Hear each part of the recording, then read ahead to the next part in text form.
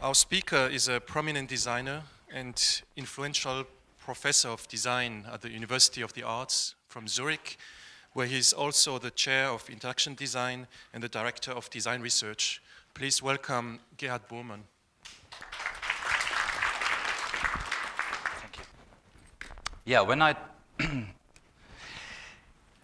talk about privacy, I will try to give you some um, ideas from an interdisciplinary, and I think I come from Europe also from an um, intercultural perspectives.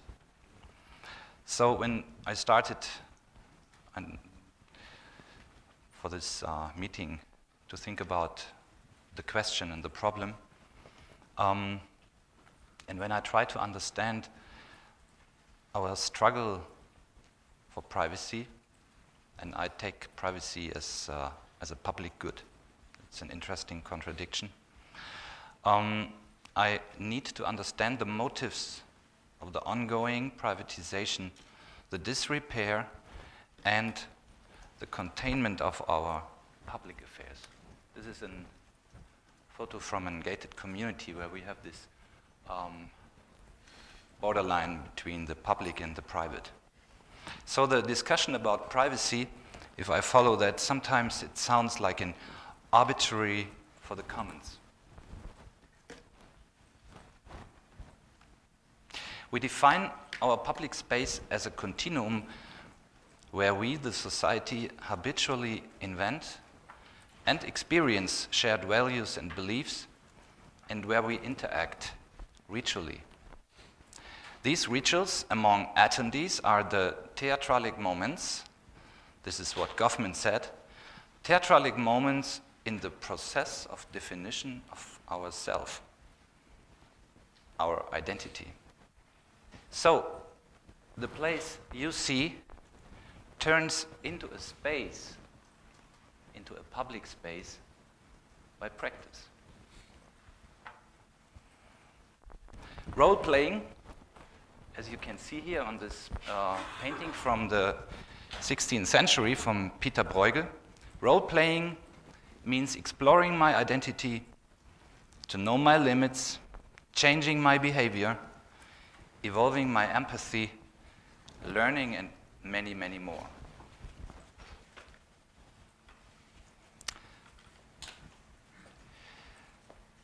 So the real presence, for me, seems to be essential because real people alone can perceive the central differences, the central differences upon our mediated communication depends. That's why I insist in the public thing while thinking about privacy. Institutions and disciplines generate strategic plans and laws and important parts of our system, um, and we discussed that today a lot. These systems are structured to achieve a maximum of control in a positive as well as in a negative sense.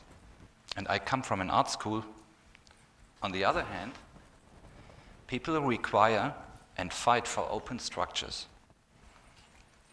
where they can behave tactical, creative, and productive. So we have the differentiation between the strategic or strategical and the tactical behavior of people.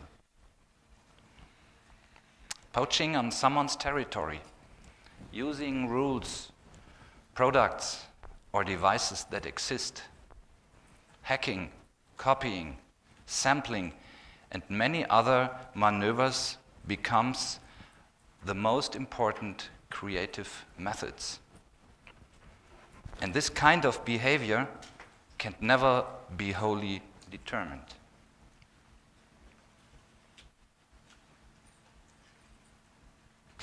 By its nature, the public space and I think the public space is the really relevant space for us to design, has a strategical and a tactical affordance for the society. Every space where we expand our behavioral, our emotional, cognitive, and somatic experience is remarkably insufficient if we control it.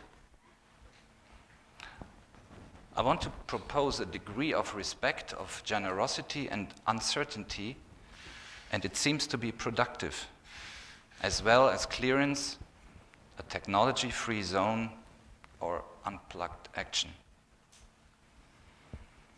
In search of identity and its conditions, we can observe societies and people struggling with this generosity. Nevertheless, let me say, this struggle is curative and necessary if we keep talking, what we do today. The conflict between strategic planning, the policy of power, and sophistication, which is not bad in general, on the one hand, and the partly unpredictable tactical maneuvers of people in the public realm is a productive nucleus to write the genesis of real social media.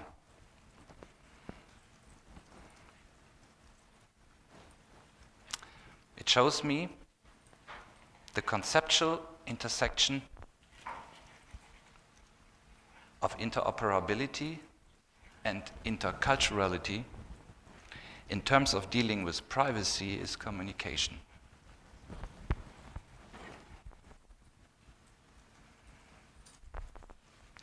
Learning from design. Design is a process of arriving at an explanatory hypothesis in the public realm. So we build product solutions. Design is practice based and integrates users in action. Design creates tools for interventions, and by its nature, design provides learning. Design helps to realize the virtual as a part of the real and to be aware of the potentialities and the actualities in time. So, finally, design is not strategic, what we often hear. Design is a mostly tactical action.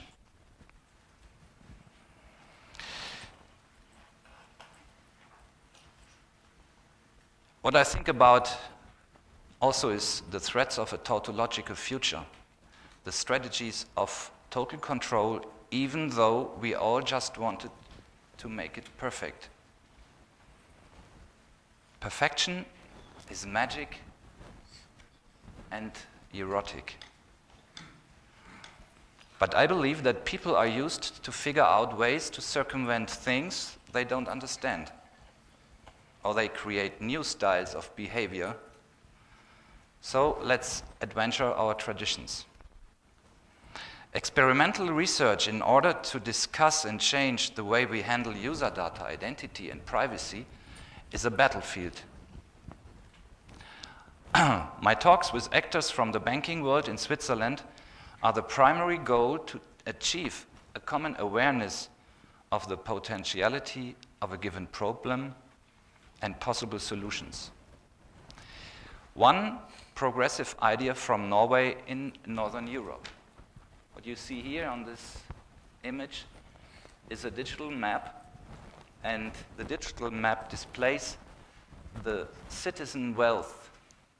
And they make it every year for every city, for everybody, for every family, and everything is completely transparent about the income and the wealth. So this is what I mean. What is if we change our attitude towards our culture, the way we talk or we don't talk about money? The financial infrastructure is a closed system in which every operation defines the total extent of any consistency. But for our work in Zurich, the Swiss financial infrastructure is declared as a design space which we are interested in and which we want to extend it for the purpose of experimentation and dealing with social media. This is an example what happens when I'm a part of different um, networks, of different cultures, of different realms of reality. When someone comes in contact with me I will attempt to control or to guide the impression that others might make of me by changing or fixing my setting, the appearance, and the manner.